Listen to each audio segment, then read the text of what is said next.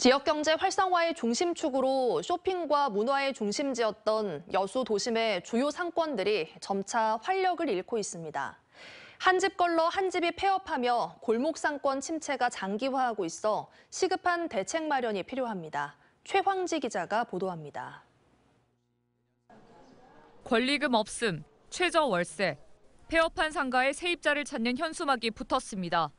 월세를 반 이상 낮춰봐도 세입자는 4년째 못 찾고 있습니다. 30년간 자리를 지킨 상인들도 어려움을 호소합니다. 모든 브랜드가 다 나빠지고 있어요, 지금. 소상공인들은 거의 죽기 직전이에요, 지금. 여수의 대표 상권인 진남 상가도 사정이 마찬가지입니다.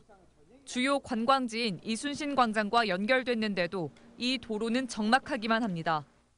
하나둘 폐업하는 상가에 차들까지 양옆으로 주차하면서 이곳은 보행자들이 더욱더 찾지 않는 도로가 됐습니다. 두 상권 모두 점포 수는 갈수록 줄고 있습니다. 코로나 전과 비교하면 흥국 상가는 60곳의 점포가 폐업했고 진남 상가도 비슷한 수의 점포가 운영을 포기했습니다. 상인들은 코로나19가 기점이었다고 말합니다.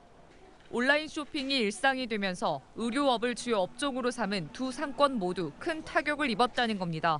이 3년 동안을 그렇게 인터넷이라는 온라인으로 샀기 때문에 굳이 나와서 안 하고 그 3년의 시간 동안에 많이 이제 좀 문화가 달라지면서 이게 세태기가 저는 왔 구도심 특성상 업주들의 연령대도 고령이어서 업종 전환에도 한계가 있습니다.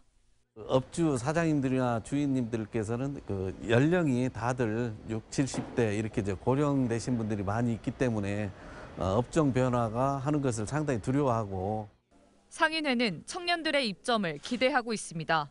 장시간 폐업한 옷가게에 최근 카페가 생겼는데 손님들의 발길도 늘었다는 겁니다. 워낙 비어있는 상가들도 많고 다른 컨텐츠들이 없어가지고 근데 카페가 생기고 앞에도 카페 생기고 이제 하다 보니까 사람들이 조금 더 걸어 들어오면서 청년 창업을 유도하는 것에 대해 전문가들은 임대료 감면과 리모델링비 지원 등 실질적인 지원도 병행돼야 한다고 강조했습니다. MBC 뉴스 최왕지입니다.